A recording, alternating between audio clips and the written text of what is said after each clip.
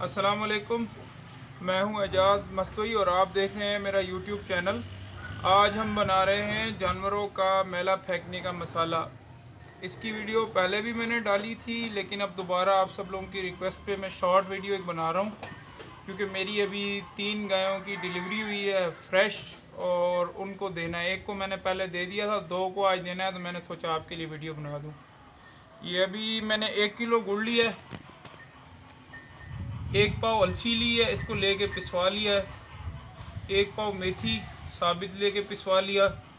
ایک پاؤ سونڈ ثابت لے کے پسوا لی اور ایک پاؤ خالیو یہ میں نے ایک کلو مسالہ ڈرائی لیا اور ایک کلو گڑ لیا۔ ٹوٹل ملا کے دو کلو بن جائے گا، ایک کلو ایک جانور کا ڈوز بن جائے گا۔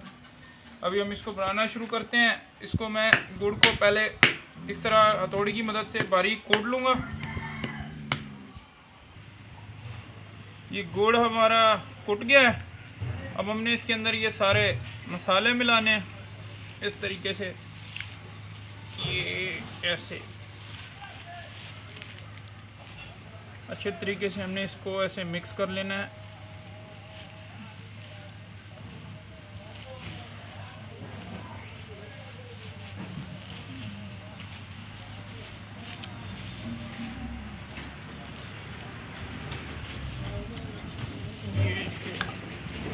کو ایسے چھٹا لگا کے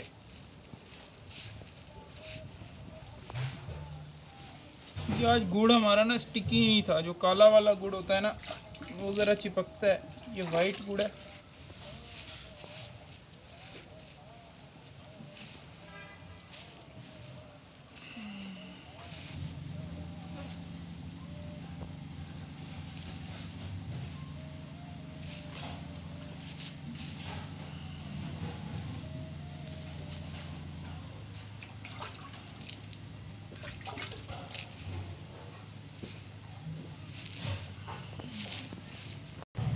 یہ دیکھیں بھائی، اس طریقے سے ہم نے کر کے یہ اس کے پیڑے بنا لیے ہیں۔ چار۔ اب یہ چار بن گئے ہیں، ایک ہی جانور کو ایک ٹائم دینے ہم نے۔ چار ایک جانور کے، چار ایک جانور کے۔ یعنی کہ ایک ایک پاؤ وزن کا یہ بن گیا ہے۔ چلے اب ایک گائے کو ہم آپ کو دے کے دکھاتے ہیں۔ ٹھیک ہے۔ یہ اس طریقے سے ہم نے ایک ہی ٹائم میں اس کو کھلا دینے چاروں ہی۔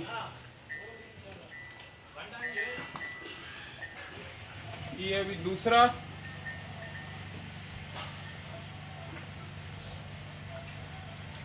اچھا سردی کے اندر بالکل دو یہ مسالہ، اس میں گوڑ ہے، السی ہے، حالیو ہے، سونڈ ہے۔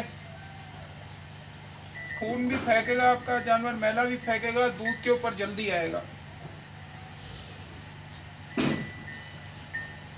انشاءاللہ اس کے بعد ہم دودھ والا مسالہ دیں گے، تقریباً پانچ سے سات دن بعد۔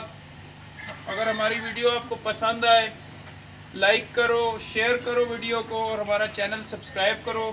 اور انشاءاللہ تعالی ہماری کوشش ہوگی، جانوروں سے ریلیٹڈ جتنے بھی مسئلے، مسائل ہیں، وہ ہم اس اپنے اس چینل پہ آپ کے ساتھ ڈسکس کریں۔ اور اگر آپ کے پاس بھی کوئی بھی کسی قسم کا ویلیوبل سجیشن ہو ہمارے لیے، تو ضرور کمنٹ میں ہمیں بتایا کریں۔ آپ کی رائے ہمارے لیے بہت اہمیت رکھتی ہے۔ ہم اللہ حافظ۔